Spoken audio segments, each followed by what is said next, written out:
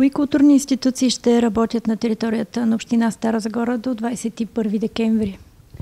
Предвид заповедта на министра на здравеопазването, почти всички културни институти, с изключение на театрите, към момента са затворени. Така ще продължи до 21 декември. След това ще видим какви ще бъдат решенията на държавно ниво и ще се съобразим отново с тях. Възможността театрите и операта да останат отворени за посетители с 30% публика поражда доста спорове в момента, доста напрежение бих казала, защото а, и в съставите на самите културни институти има доста заболели от COVID-19. Една доста неприятна ситуация, защото не само публиката в случая играе роля, а играе роля и състава на, и дори администрацията на съответните културни институти. Към момента, освен а, тях, нищо друго не работи. За библиотеките мога да кажа, че персоналът е там, хората, които работят са там, но не работят с посетители. По същия начин е и ситуацията с читалищата и с галерията. Служителите, които са на място, се грижат за фондовете, за дигитализацията, имат достатъчно работа, но не работят пряко според заповедта на министъра с посетители. Това въжи и за регионални исторически музеи, за всички негови обекти. А конкретно за галерията по програма предстои провеждането на Балканското квадринале. То ще се състои ли или не? И тъй като голяма част от подготовката вече е протекла? Комисията, която разгледа а, творбите, всъщност взе своите решения. Решения, да, неприятно е, че въпреки огромното желание на екипа на галерията и на Марин Добрев, нещата да се случат на живо през декември месец, най-вероятно това няма да може да бъде факт предвиждаме промяна, максимално присъствие онлайн, за да може да бъде все пак популяризирано квадриналето, но все пак сме длъжни най-вече да опазим живота на хората. Това е висшата ценност в момента. Тоест за момента няма да бъде проведен? На този етап а, не се предвижда да бъде проведен в този блясък, в този мащаб, в който е друга година. Търси се друга форма, най-вероятно онлайн. Изготвен ли е вече графикът за фестивалът на оперното и балетното изкуство, който трябва да се състои през пролета на следващата година?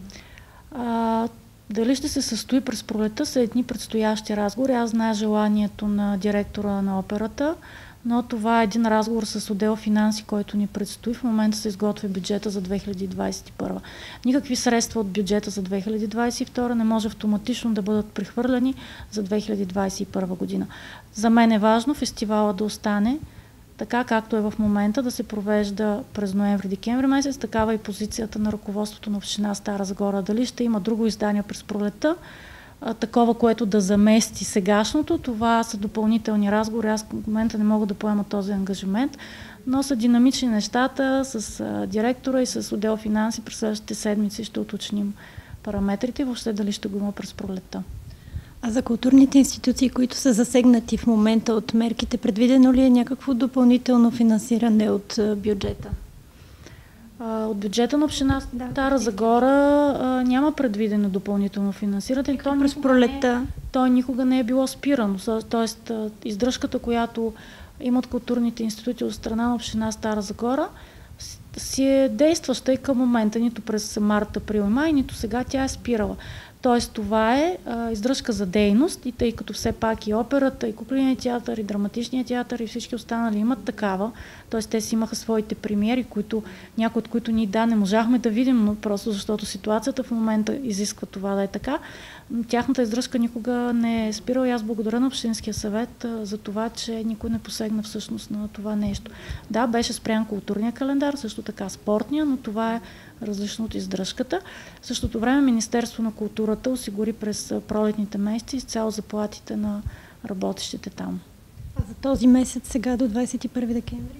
Всички културни институти работят реално. Те, те затварят за посетители голяма част от тях, но пак казвам, фондовете има достатъчно административна работа, която трябва да се върши.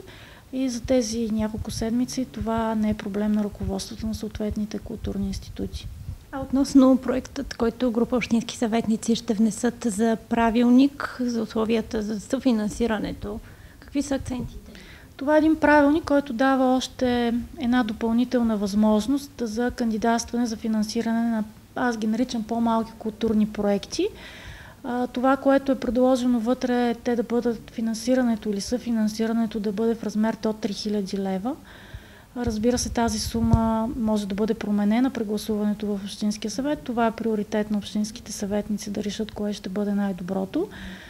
Това не е замества и не променя функцията на културния календар, който обслужва най-важните исторически събития, паметни дати, годишнини, наложени във времето културни прояви, примерно като джаз форума, като кинофестивала Златната липа.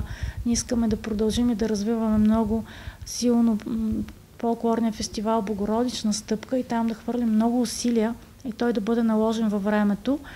А, така че а, този правилник е една допълнителна добра възможност. И аз благодаря и на кмета и на финансовия отдел, че намериха а, възможност да, да финансират и такива по-малки прояви, които ние не можем да финансираме през културния календар.